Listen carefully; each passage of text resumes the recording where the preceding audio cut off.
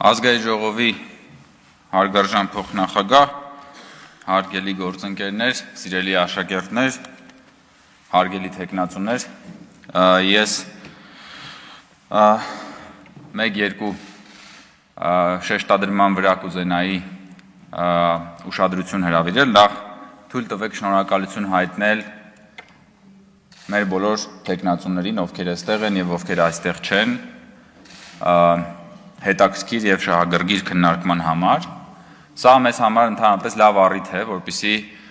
խորհրդարանը օգտագործելով այս ընտրության հնարավորությունը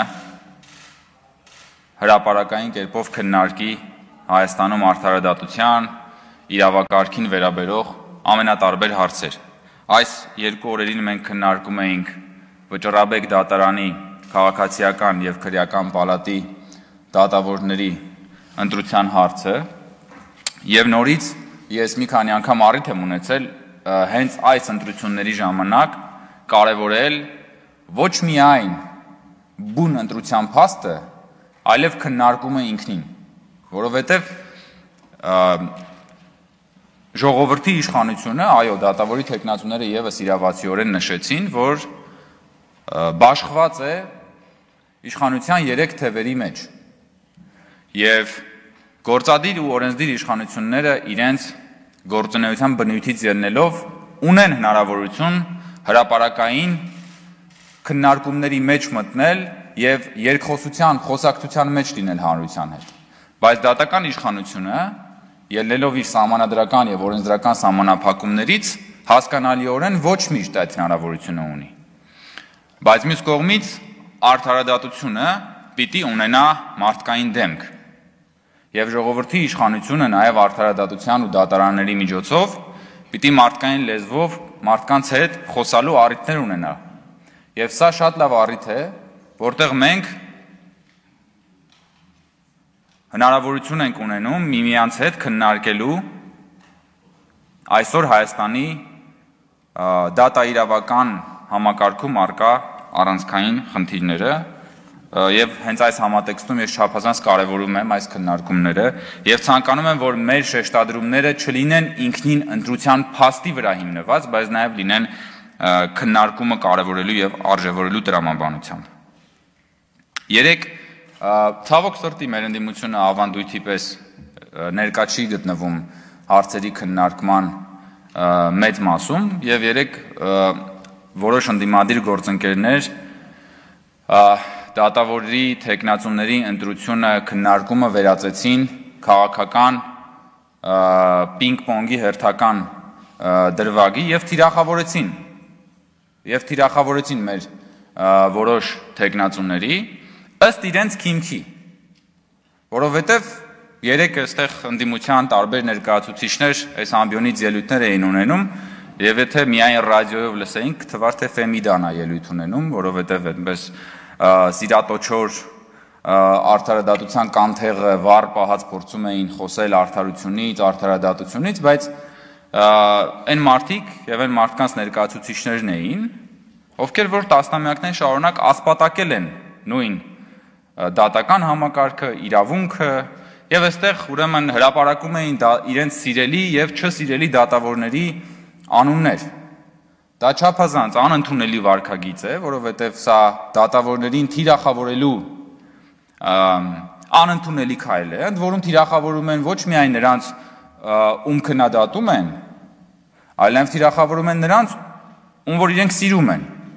որովհետև դեռ հարց է, ինչից պիտի ավելի շատ վախենալ, երբ որ ընդդիմությունը ինչ որ մեկին չի սիրում, թե երբ որ ինչ որ մեկին սիրում է։ Սա լուրջ հարց է, որը պետք է քննարկման առարկա դարձնել։ Էնպես որ ես կարծում եմ, որ ամբիոնից սիրելիների եւ չսիրելիների անուններ հնչեցնել են տրամաբանությամբ, որովհետեւ ստացել եք հանձնարարություն պատրոնի կողմից եւ պատրոն կլիենտ հարաբերությամբ դիտարկել դատա իրավական համակարգը, սա անընդունելի է։ Հայաստանի Հանրապետությունը իրավական պետություն է եւ դատական համակարգը պիտի զերծ լինի բոլոր տեսակի ուրեմն ազդեցություններից։ Սա մեզ համար սկզբունքային է եւ ես կարծում եմ, որ այդ թվում այն ելույթները, որտեղ որ դատավորներին փորձում էին հատ-հատա տալ, ասել, որ հիշեք, որ դուք քայլելու եք Երևանի փողոցներով եւ այլն եւ այլն, սա ուղիղ սպառնալիք է դատական համակարգին եւ դատավորներին,